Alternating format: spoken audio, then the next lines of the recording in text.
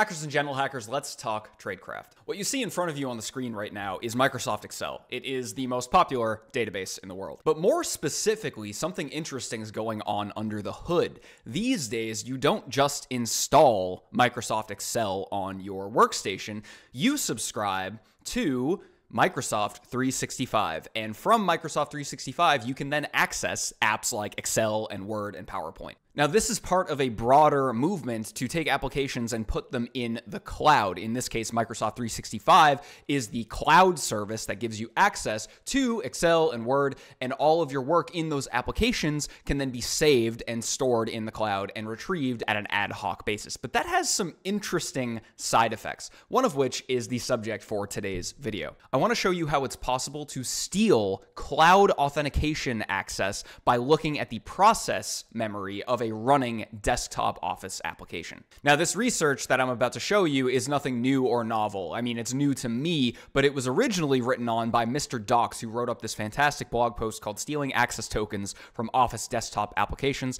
And I learned about it taking Sintra Training's Attacking and Defending Azure and M365 course by Inverse Costs. Now, this video is not sponsored by Inverse Costs or Sintra Training. It's just a phenomenal product, and I'm having a blast learning about all this stuff. So do check out that course if you're interested in learning a little bit bit more about this stuff. So the general idea here is that the Office suite of software, Microsoft Word, Excel, PowerPoint, OneNote, all of these are no longer standalone applications. They all authenticate to M365. You can actually see that up here. I'm logged in with my Husky Works account, which is a testbed Microsoft 365 environment that I have stood up. But you see here that my account is tied into this desktop application. And so if I had any Excel workbooks that are saved into my cloud M365 tenant, they would show up here and I could work on them and they would get automatically pushed up to the cloud. But a kind of unintended side effect of that is that authentication material is now present in the running process memory of, in this case, Excel or Word or many of the other M365 applications. So, what if we were able to dump the running process memory of these applications and steal the authentication material inside of them? Well, turns out we can totally do that. Let me show you how. So, in this case, we assume that we have compromised an endpoint and are at the point where we have access to these applications. So think that we've got a C2 beacon here, so maybe Cobalt Strike or Sliver or something like that. And now we need to dump the running process memory and look for the access tokens inside of that process memory.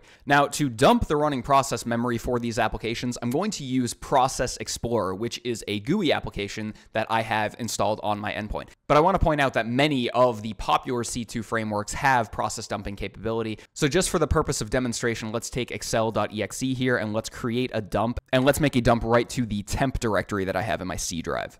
And now we have dumped out the running process memory from my Excel application. Remember, I'm signed in here with my HuskyWorks account. Now, next up, as attackers, we would take this dump file and we would move it offline. And of course, I don't have to do that because I'm just demoing this, but imagine that we're now saving that back to our Kali Linux instance or our C2 server or something like that. And the next thing is to look for the access tokens inside of this running process memory. Now, identifying the access token in this case is as simple as running strings against the process dump, but we're looking for something something specific, a specific identifier. I actually have a little mnemonic device to help you remember this. Maybe some of you out there are blues guitar fans like I am, and if you've ever heard the song Hey Joe by Jimi Hendrix, let me share with you. We are going to strings the process dump, and we're looking for a particular pattern here, and that's EYJ0 with a capital J. And so I like to remember that with A Joe, where are you going with that access token in your hand? And so we run this against the memory dump, and we get a whole lot of output. So if we look at these strings, these are actually JWTs. They're JOTs. This is authentication material. These authentication tokens allow you to say, hello, I am who I say I am. Please allow me to access the resources that I want to access. Because Excel needs access to your particular files on your particular M365 account. Count and that's why they're in here. But if we lift these right out of the process, well, they're now ours. And as attackers, we can now authenticate as that user. Now, the trick here is that not all of these authentication tokens will be useful to us as attackers. Some of them have access and are scoped to resources that we necessarily don't care about, but some of them can be quite useful. And we can check in this JSON Web Tokens parser to see what kind of token that we're actually working with. All we have to do is copy out that token and paste it in here.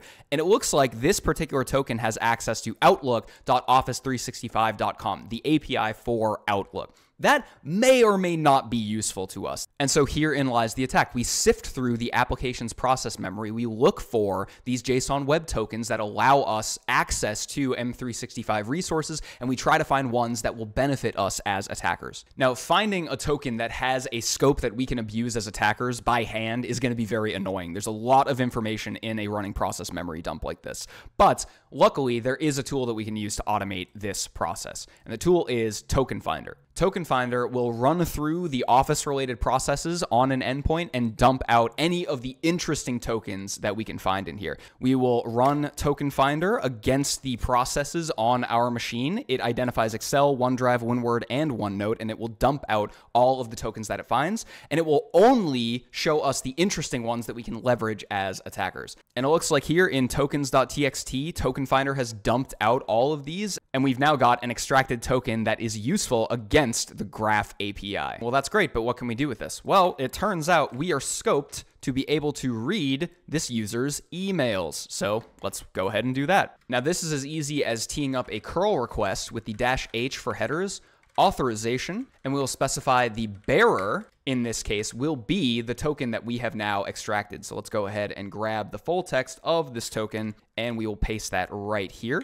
And we close out the quotation marks, but we also need to specify where we want to send this request. And in this case, I want to read this user's emails. So I'm going to send this to the graph API at https colon slash slash graph microsoft.com slash v1.0 and i'm going to say for the user me in this case present my authentication material and present me with all of my messages. And let's actually dump that out to out.txt and there we go and let's go ahead and less out.txt. And it looks like we have successfully dumped out the emails of the huskyworks.mk user. And so we can see like text like this private to you. Hi, first name unknown, last name unknown. Discover trends in your work habits, an in depth look at your work patterns in the last four weeks. This is the email inbox of this user. And there we go. That's the attack. To recap, if we, as the attacker, had access to the endpoint where somebody was logged in to an M365 Office application, we can then carve into the process, find the access tokens that are inside of that process, and we can steal those access tokens to pretend that we are that user. I like this attack a lot because it represents an emergent trend in tradecraft,